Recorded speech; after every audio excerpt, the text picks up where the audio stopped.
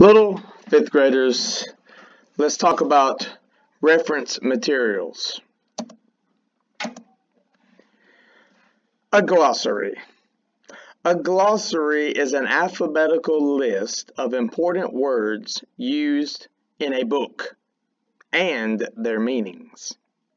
Glossaries generally appear at the back of textbooks and other reference books. A dictionary. A dictionary is a book filled with definitions of words that make up a language. You can use a dictionary to find the correct spelling, pronunciations, syllable divisions, definitions, parts of speech, and word origins. Thesaurus. A thesaurus is used to find a synonym for a word.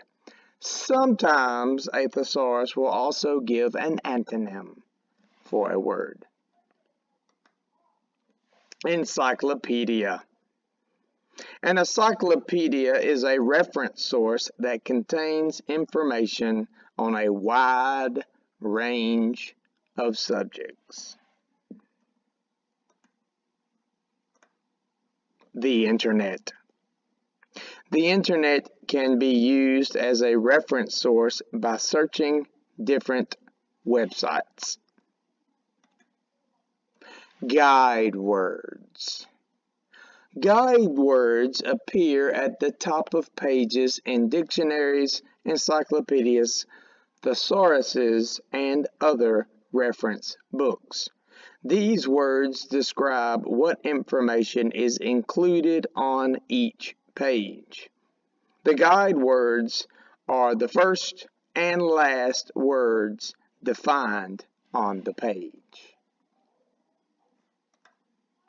Last but not least. Ooh. Have a nice day.